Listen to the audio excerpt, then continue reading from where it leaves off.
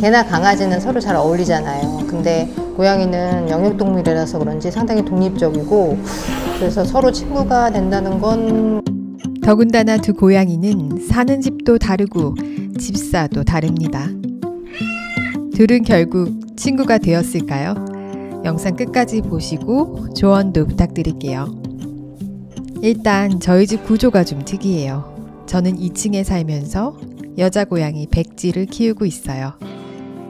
3개월쯤에 저희 집에 와서 얼마 전 성묘가 되었습니다. 백지는 약간 까탈스러우면서도 거침없는 고양이에요. 3층에는 남자 고양이가 살고 있어요.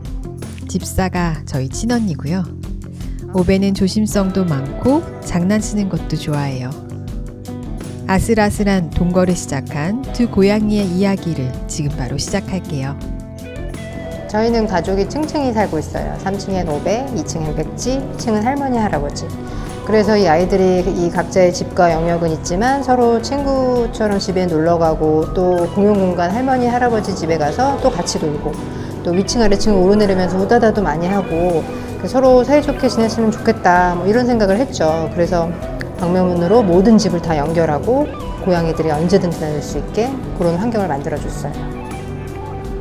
근데 첫 만남부터 쉽지 않더라고요. 특히 백지가 하악질도 많이 하고 좀 무서워하는 것 같고 아, 얘네들이 정말 친해질 수 있을까?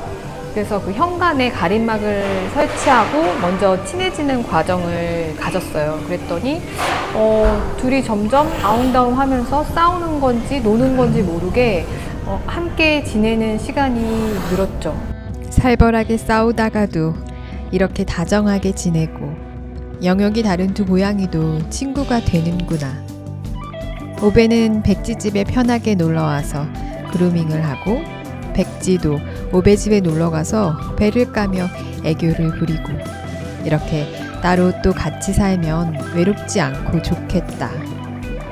공용 공간인 할머니 집에 놀러가서 간식도 얻어먹고요. 근데 사람도 그렇듯 고양이도 같이 보내는 시간이 길어질수록 문제가 생기더라고요. 밥을 충분히 주는데도 남의 밥을 뺏어 먹고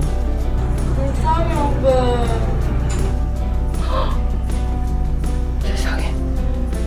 상대방의 화장실을 쓰기도 하고요. 서로의 영역은 지켜줬으면 좋겠는데 각자의 영역을 확장 또는 방어하기 위해서 신경전을 벌이고 있는 것 같아요. 놀 땐 또 다정하게 노는데 여기저기서 이제 정보를 모아보니까 좀 서열이 정해져야 평화가 찾아온다고 하더라고요.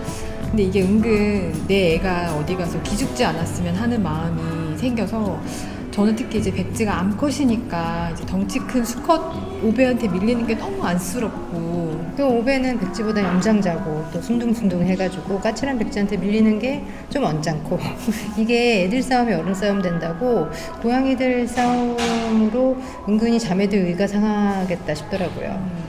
그럼에도 장기적으로 볼 때 두 고양이가 좀 의지하면서 사면, 살면 서로 집을 비울 때도 또 여행 가거나 할 때도 고양이들이 좀 외롭지 않겠다 그런 마음에 이제 계속 시도를 했죠. 두 고양이는 여전히 두 집을 오고 가며 아웅다웅 지내고 있습니다. 각자의 영역을 침범하지 않고 내 집과 네 집을 놀러 다니면서 친구처럼 편안하게 지내는 방법은 없는 걸까요? 두 고양이는 잘 지내고 있는데 집사들의 괜한 걱정인지 두 고양이는 각자 살고 싶은데 집사들이 괜히 부추기고 있는 건지 여러분의 조언을 부탁드립니다. 영상이 마음에 드셨다면 좋아요와 구독을 부탁드릴게요.